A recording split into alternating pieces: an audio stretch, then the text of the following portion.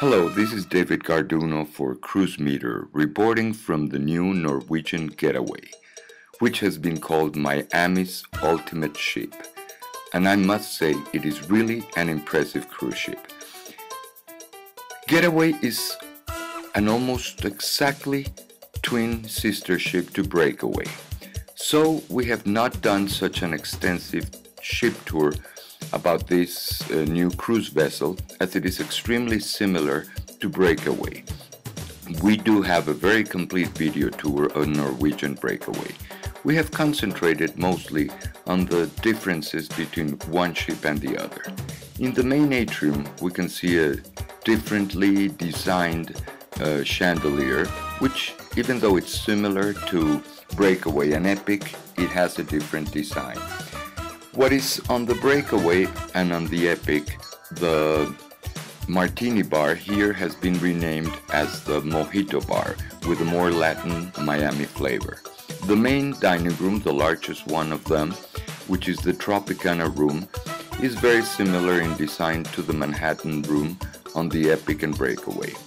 The waterfront has a different flavor to it. It's more tropical and I'm sure it is going to be a huge success in the Caribbean.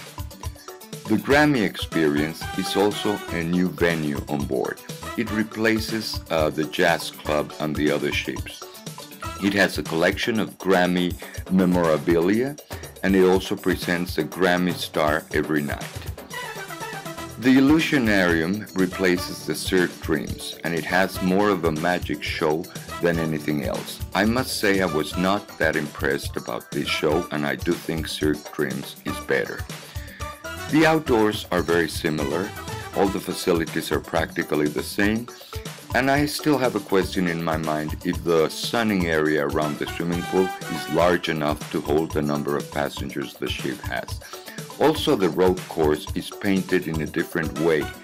All the metal structures uh, simulate wood which at first I thought it was unfinished, but no, it's just a different finishing. The last christening ceremonies of Norwegian Cruise Line, which were the Epic and the Breakaway, did not come out as very impressive events. The one for Getaway, I think, was better. It had a major show by Pitbull, though everything was transmitted through video cameras into different areas of the ship so nobody really saw the christening firsthand, at least not very many people. And one thing that was very disappointing is that when the bottle was supposed to break against the hull, that was really not shown on the videos.